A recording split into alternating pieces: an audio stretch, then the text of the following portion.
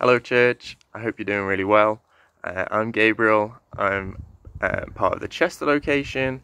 Uh, in Chester, I'm uh, part of the youth team and I really love it. I get to be a part of leading the boys' life group, um, and each week I get to have a bit of an insight into how the boys are growing their relationship with God. But I think what inspires me uh, the most is their willing, willingness to, to make Jesus known to their friends. Um, not just through everyday conversation, but also by using their gifts as well. And even in times where the boys might be struggling with things like uh, exams or maybe a bit of bullying or really tough things that only teenagers really really understand, um, they often find ways of still being able to continue to express their faith um, to their friends and to people they know.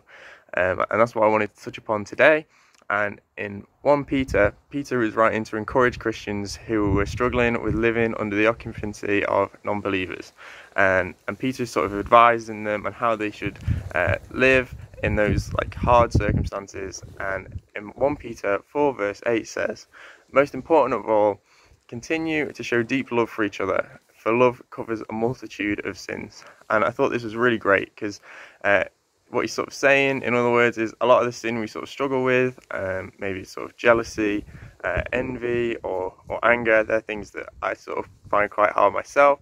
They're dealt with by making a choice to, to show the love that Peter describes. And I know that sort of it's quite an old song, but there was an old song that um, my mum used to have on a CD, and it was by DC Talk, and it was all about uh, love being a verb. And and I thought that was really great. The main lyric was uh, "Love is a verb," and I thought that was really great because it's like it's not just a thing that comes naturally all of the time. Um, sometimes we really have to put in the work to be able to show uh, that love that, that Peter's describing, being able to sort of make that decision to, to do it.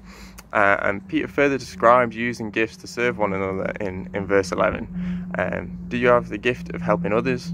Do it with all the strength and energy that God supplies. Then everything you do will bring glory to God through Jesus Christ. And I think that's just a really great uh, example um, for how we should live. And I think it's it's quite inspiring to see the to, to, see the life group boys being able to do that. So I really feel like it's something that we can all work on too.